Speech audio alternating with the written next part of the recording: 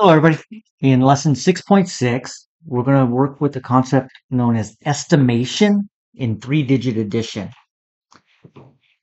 So basically, our central question is how do you make reasonable estimates when solving problems? So let's review some concepts here. So, how many hundreds does each number have? So, look at this number 427 has how many hundreds? If you need, you can write a hundreds uh, place value chart. Hundreds, tens, ones. And so 427. So 427 has four hundreds. Okay. How about our next one? 651. 651. How many hundreds does that number have? 600. So basically, ones, tens, hundreds. The hundreds are always the third digit from the right. Okay, ones, tens, hundreds. 348. How many hundreds are in 348? Three hundreds. Okay. All right, so we do need to know which place value is the hundreds for today's uh, lesson. Okay, so what is each sum? 500 plus 100 more. Well, don't we just have to add the hundreds? Yeah, and that's a basic math fact. 5 plus 1 is 6. So 600. 400 plus 300. Again, just add the 100. And 4 plus 3 is a basic math fact, 700. 600 plus 200, just add the hundreds. 6 and 2 is 8, so 800. 800 and another 100 is 900. Okay. So fairly simple review there, right? Okay, so that's what we're going to do to find estimates. Okay, so an estimate tells about how many. So look at the hundreds digits. 518. Okay, so there's 500, right? 336. 300. So a reasonable estimate for this problem is 800. All right, use the values of the hundreds digit to estimate the sum. Okay, we're not worrying about what is known as the concept of rounding up or down. All we're doing for this lesson is just looking at the hundreds. Okay, so 200 plus 300. That gives us an es reasonable estimate of 500. 719 just look at the hundreds. There's seven hundreds. In 138, there are 100.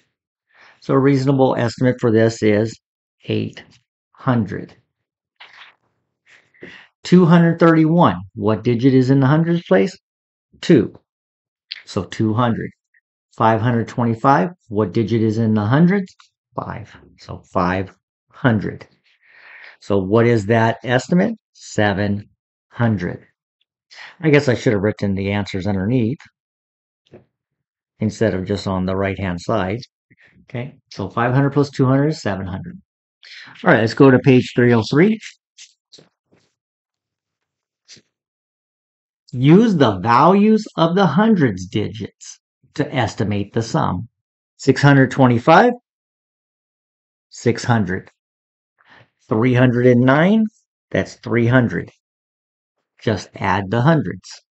6 and 3 is math fact of 9. So 6 plus 3 is 9. So 900.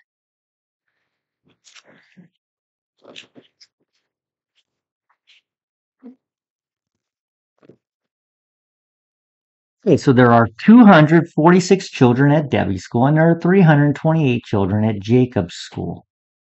Without adding, Explain how you could estimate the number of children at the two schools. without adding, explain how you could estimate.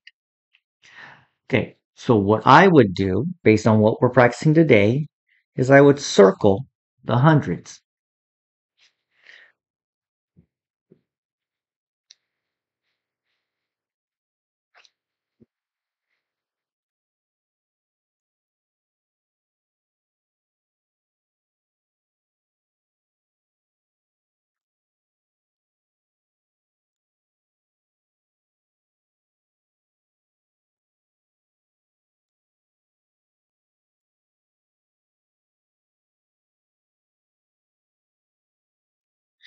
So if we just add the hundreds digit, 2 and 3, we would get 5.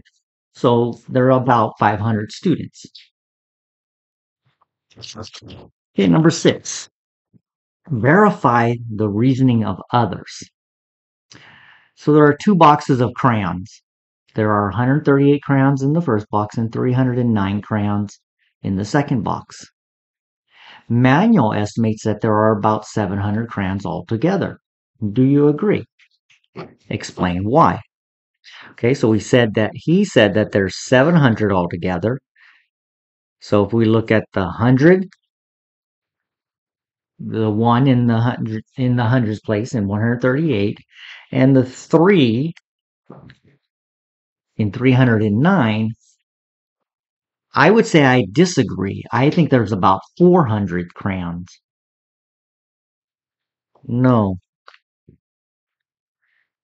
I don't agree. If you add the hundreds digits,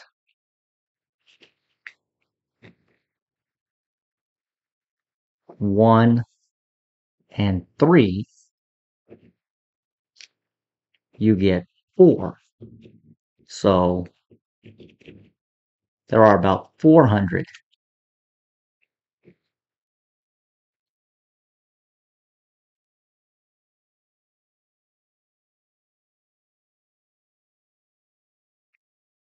Not 700. Okay. So again, just looking at 300, 100, that's 3 plus 100 is 400. So not 700. I'm not quite sure how you would get 700 out of that. Okay.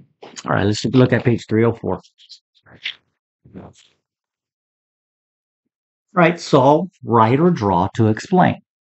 Daniel has two boxes of trading cards.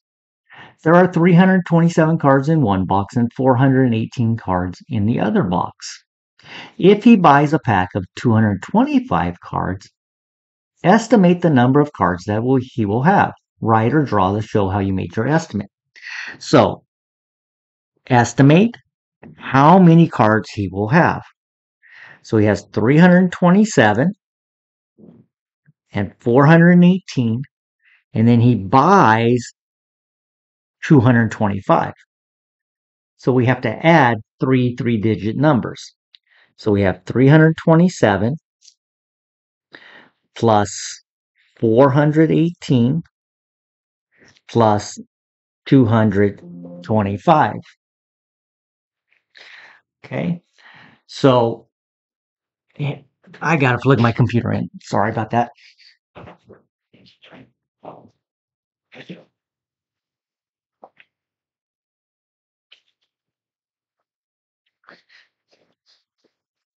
All right, sorry for the interruption there. So we have to add 327 plus 418 plus 225.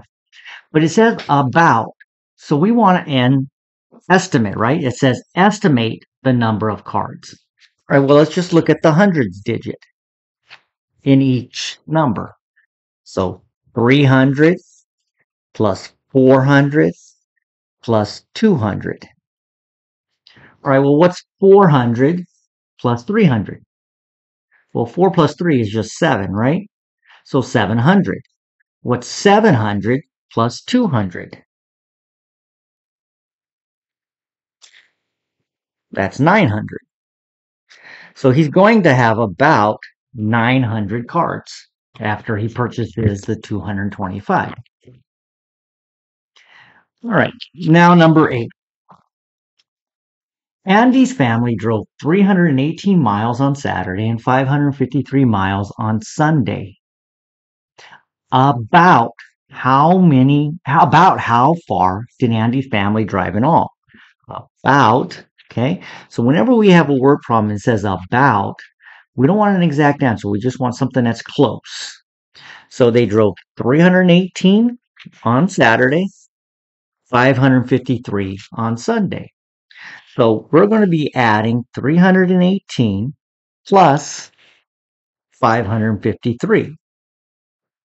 But because it said about how far, we're just going to focus on the hundreds digit. So 300 plus 500.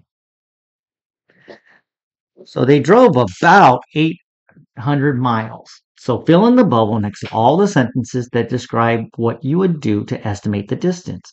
I would add 300 plus 500. Yeah, that's what we did. Okay. I would regroup the tens. No, because we're finding about how many. There aren't any tens. I would add the hundreds digits. Yeah. 300 and 500. We're adding the hundreds digits. I would add a hundred to the hundreds digit. No, because that would require regrouping. We're not regrouping anything. Okay. So when we estimate, we're having numbers that typically will not involve regrouping. Okay, so 300 plus 500, and we added the hundreds digits.